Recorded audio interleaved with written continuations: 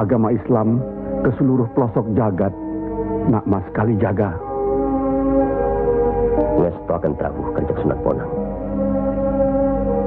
Tapi ingat, dalam Islam tidak ada paksaan.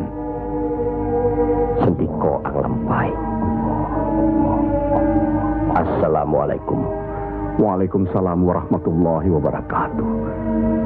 Allah. Assalamualaikum. Waalaikumsalam warahmatullahi wabarakatuh.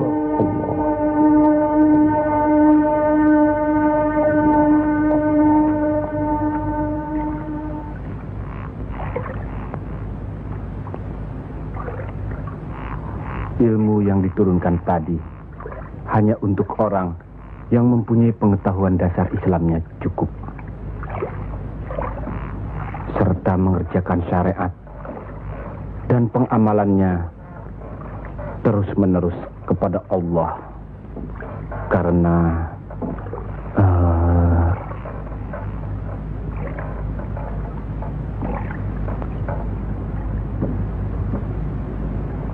Siti Jenar.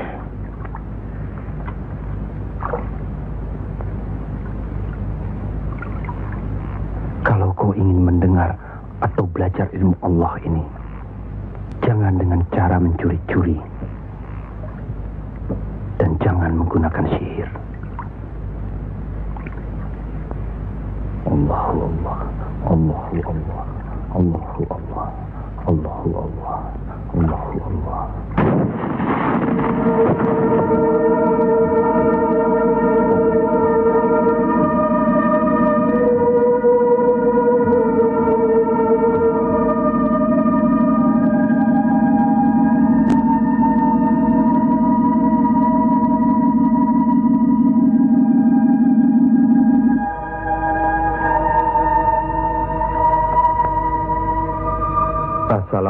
Assalamualaikum Waalaikumsalam warahmatullahi wabarakatuh.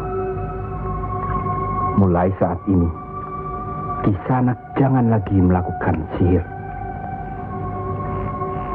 Sebagaimana yang Kisanak lakukan selama ini. Itu perbuatan sesat.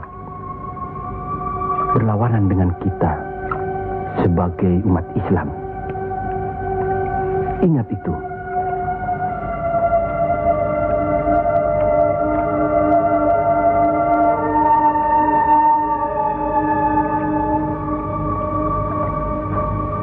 بسم الله الرحمن الرحيم.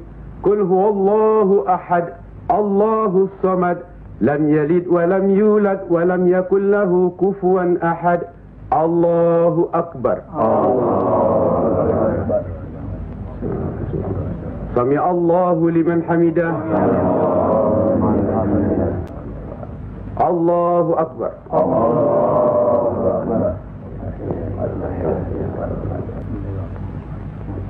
السلام عليكم ورحمة الله السلام عليكم ورحمة الله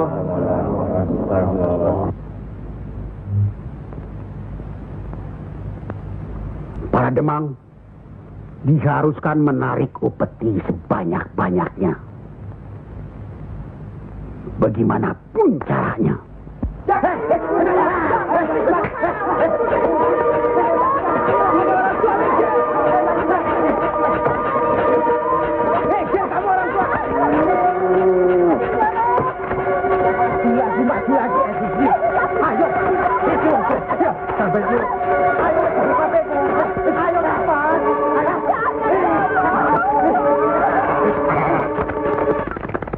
Begitulah nasib mereka. Apakah sampai hati membiarkan mereka itu demikian? Eh, Kanjeng Sunan Ampel. Demi keadaan rakyat Majapahit yang sudah begitu parah. Dan demi agama, kita serang saja Majapahit.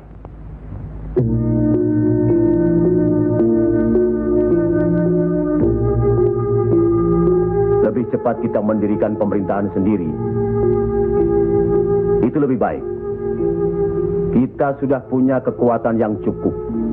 Dan kita sudah punya calon pemimpin yaitu Raden Patah yang sekarang sedang sibuk mencari pengaruh di pusat kerajaan. Maaf, Kanjeng Sunan Ampel. Menyerang Majapahit berarti memberontak terhadap pemerintahan. Yang semestinya kita sebagai muslim harus mentaatinya. Sebagaimana kita sholat harus mengikuti imam. Imam berarti pimpinan. Kita sudah sama-sama mengetahui keadaan di Majapahit ini. Dan percayalah, pada suatu saat nanti, riwayat Majapahit akan habis. Runtuh dengan sendirinya. Kenapa kita harus memberontak? Kenapa kita harus memberontak?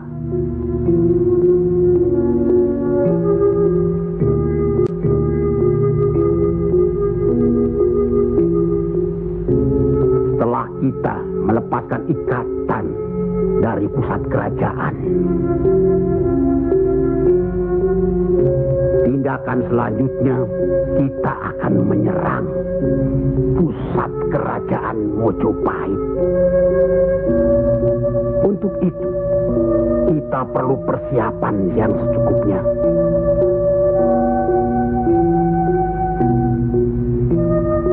Tidak. Apa karena Sunan Kalijogo masih cucu?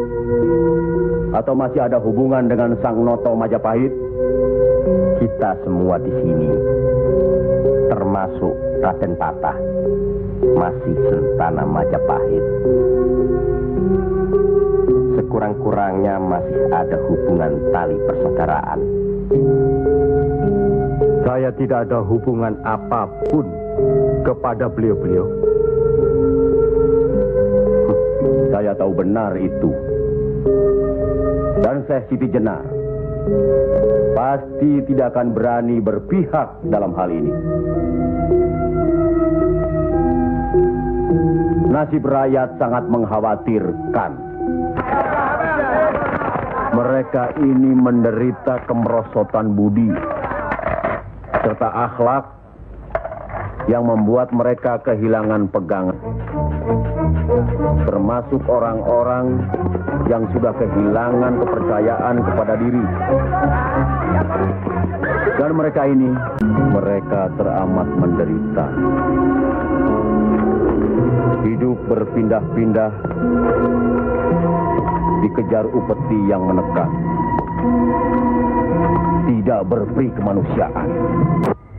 Benar. Tapi apakah Raden Patah yang akan kita percayakan sebagai pimpinan?